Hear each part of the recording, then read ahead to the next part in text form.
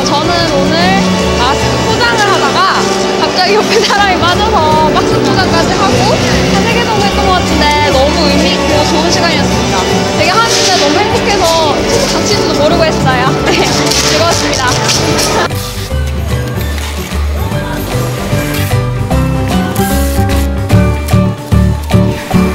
네, 저는 지금 그 사랑어 키트를 그 각지에 배송하기 위해 차량에 실는 그런 운반 역할을 하고 있고 어, 밖이라 추울 줄 알았는데 생각보다 열심히 해서 그런지 땀도 많이 나고 겨울이라고 느껴지지 않습니다. 이 따뜻한 마음이 그대로 어르신들께 그리고 결손 가정에게 전달해 주었으면 좋겠습니다.